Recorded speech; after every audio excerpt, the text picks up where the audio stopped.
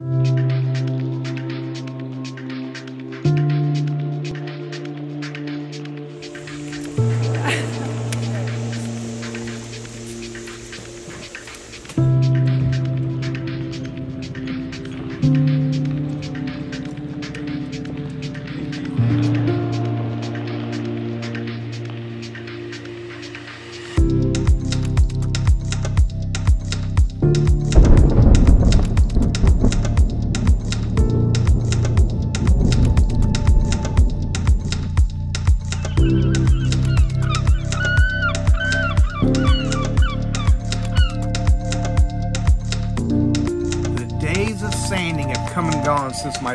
came for a visit.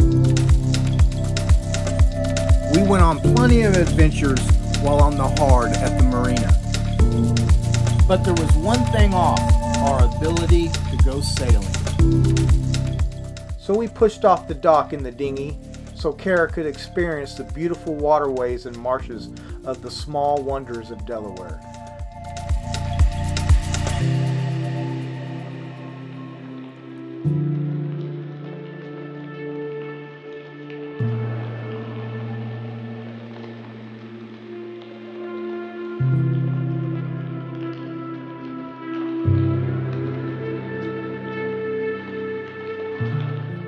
But before that can happen, we need to button up the bottom work and prepare the Bohemian for its journey south.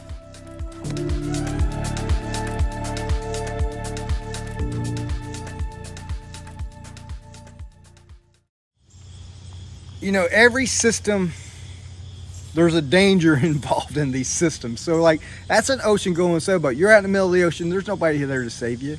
You've got to go if you're going to use a boat like this other than a coastal cruiser you, you got to check this shit out so there's the exhaust and that's 12 feet of exhaust that stuff costs $40 a foot you can get Vetus for like 20 it's a little it's not and then the stuff with the wire in it costs about 40 it's 12 feet so what's 12 times 40 that's like 600 bucks so i knew when i ripped that apart it was going to cost me some money but take a look.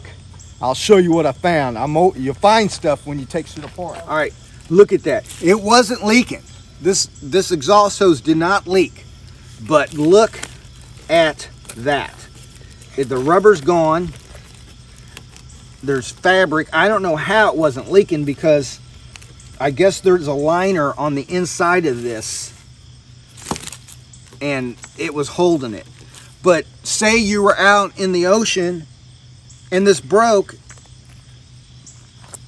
and you were in a storm or you were somewhere where you had to have your motor and uh, maybe the tides or the, the storm was pushing into uh, somewhere you needed your motor, I don't think my bilge could keep up with what the motor is kicking out. And if it did, it'd be close. It'd be a teeter-totter thing going on.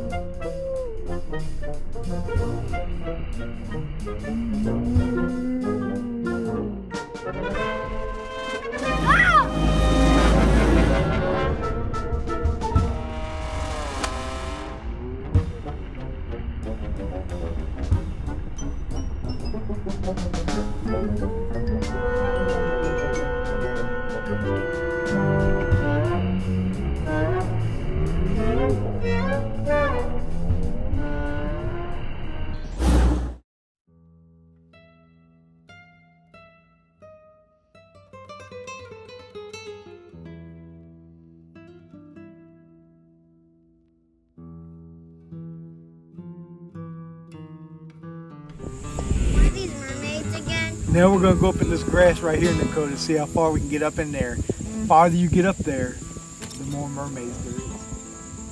And hermit crabs.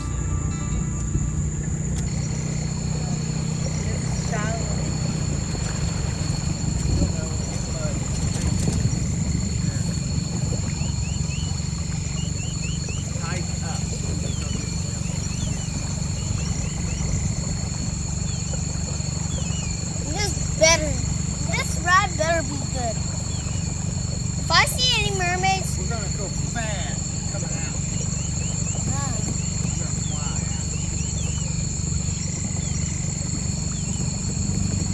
I need never go fly out. awesome. So I can learn car wash. And this is like a ride in the when you're in Disneyland. Like the Jungle Book. Or the Jungle Cruise. Dakota, should have brought a net. What? This is like the jungle. Are we in the jungle now? That's what I thought. Think there's any mermaids in here? I think. Alligators.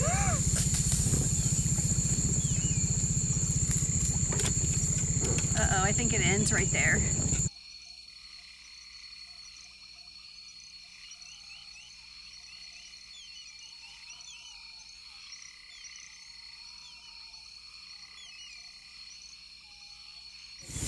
Who wants to go full speed out?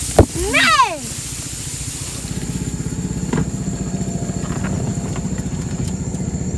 Like the jungle cruise. We're gonna. Who wants to go full speed out of the hole? No. Please.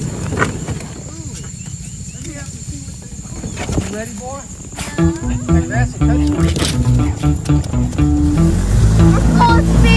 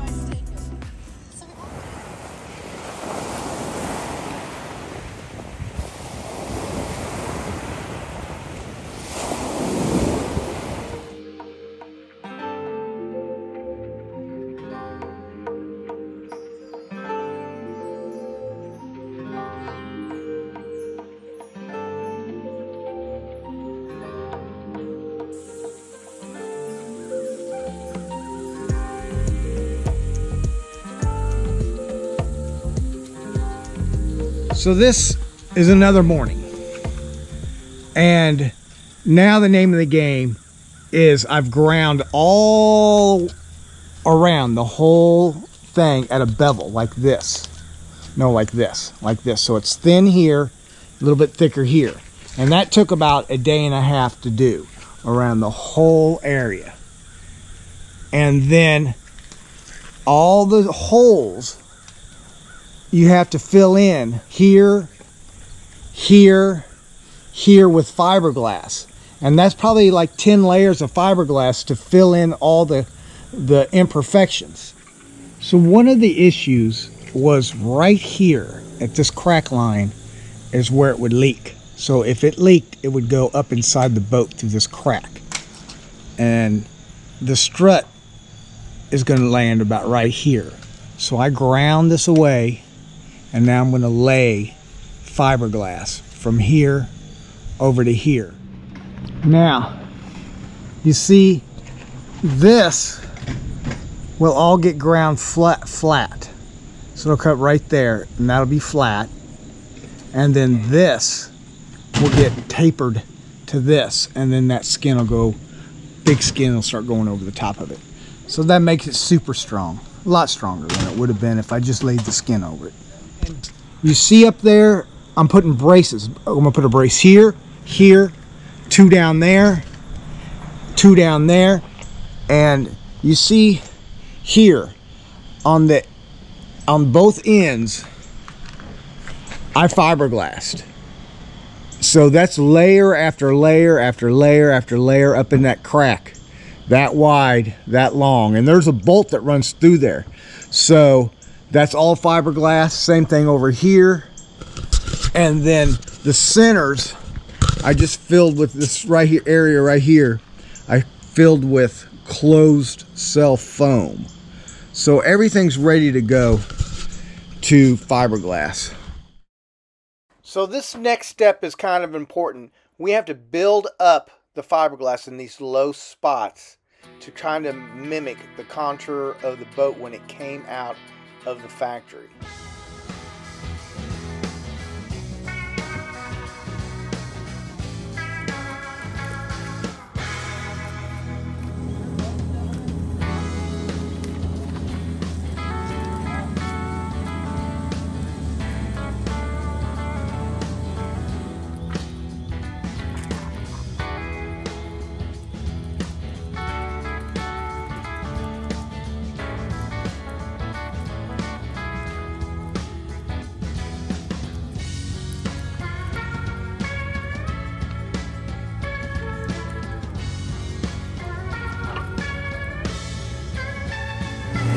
Guys see that air? It's right there. Can you see it? And then it, you can just push it out right there. And then keep going. I'm kind of putting like tension on one side a little bit more than the other side to kind of get that to find the air because you, you really can't see them. Once you get that done, then I'll roll over to try to keep that middle flat. And then I'll just kind of squeeze the ends to where get those flat for when I lay the next piece over it, which is a little bit bigger, it's like an inch wider. It'll lay nice and flat. That's the plan anyway. So there's the first two layer, the first layers of fiberglass over where the beam was. So the next step is to level that. You see that gap? We're gonna, it goes all the way out to here. So we're gonna level all that out at, in a section. And then same with this. You see that gap? We're gonna level the this part right here, right there. We're gonna bring it out and, and we're gonna fill that with fiberglass and fill all that in to try to get all that one level. So once it's all level, then I'll take a 36 grit flap disc and form that to the shape of the boat as much as I can from when it came to the factory and then she'll be ready to put the skin on which is another task in itself.